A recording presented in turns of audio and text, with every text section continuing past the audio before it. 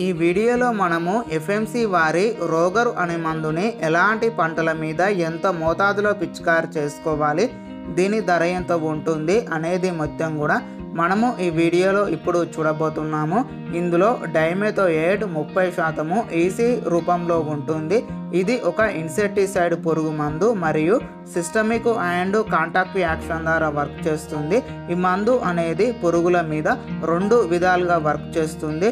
మొదటిది పురుగుల యొక్క నరాల వ్యవస్థ మీద వర్క్ చేసి పురుగులను చంపివేస్తుంది. రెండవది పురుగుల యొక్క స్టమక్ యాక్షన్ మీద వర్క్ చేసి పురుగులను ఆహారము తీసుకొనియకుండా చేసి వెంటనే చంపివేస్తుంది.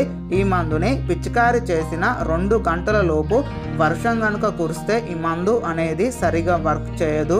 ఈ మందుని వరి మిరప వంగ బెండ అన్ని రకాల కూరగాయ సాగులో మరియు అన్ని రకాల ప్రధాన పంట సాగులో దీనిని పిచికారి చేసుకోవలసి ఉంటుంది. వ్యవసాయ పంట సాగులో వచ్చు అపిడ్స్ జాసిడ్స్ మిల్లీబాగ్స్ మరియు అప్పర్స్ త్రిప్స్ కాండం తొలుచు పురుగు కాయ తొలుచు పురుగు మరియు వైట్ ప్లే యొక్క నివారణ కోసము దీనిని పిచికారి చేసుకోవలసి ఉంటుంది.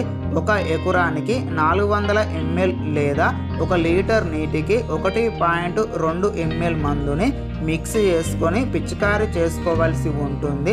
మార్కెట్లో ఒక లీటర్ ధర ఐదు వందల రూపాయలుగా ఉంది.